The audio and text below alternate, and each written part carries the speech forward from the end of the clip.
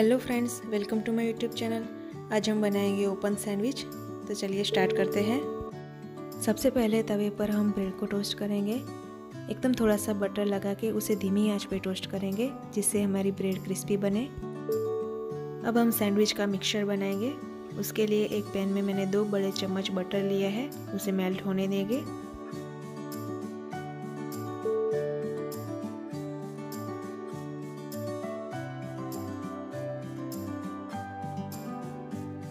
अब एक कप प्याज लेंगे, उसे हम सौते करेंगे। जब तक प्याज सॉफ्ट हो जाए, तब तक उसे सौते करना है।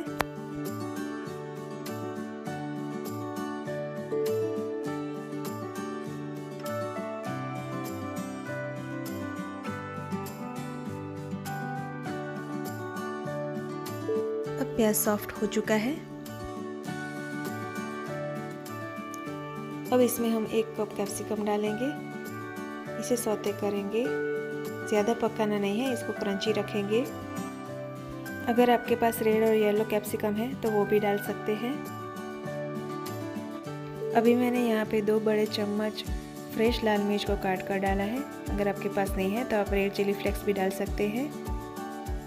और हम इसमें मिक्स हर्ब्स और ऑरेगानो डालेंगे। और थोड़ा सा नमक डालेंगे, क्योंकि बटर में भी सॉल्ट होता है। इसलिए ध्यान रखना है। अब सब मिक्स कर लेंगे।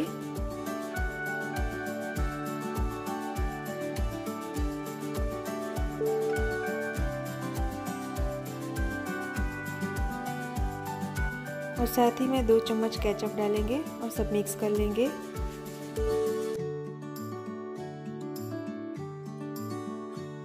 अभी हमारा मिक्सचर बनकर रेडी है। अब हम हमारी टोस्ट की हुई ब्रेड लेंगे। उसके ऊपर दो चम्मच मिक्सचर रखकर फैला लेंगे।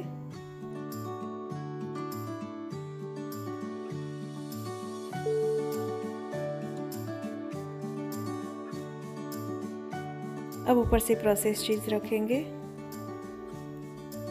अगर आप चाहे तो मोजरेला चीज़ भी रख सकते हैं।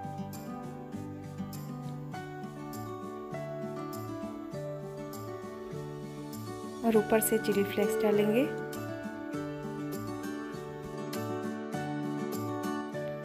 अब तैयार सैंडविच को हम पैन में रखेंगे।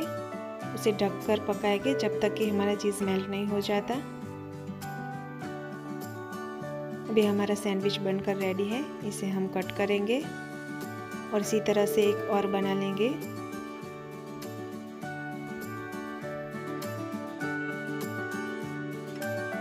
अब ये हमारी यम्मी सैंडविच बनकर रेडी है। इसे हम केचप के साथ सर्व करेंगे। आपको मेरी ये रेसिपी पसंद आई हो तो लाइक और शेयर ज़रूर करें और मेरी चैनल को सब्सक्राइब ज़रूर करें।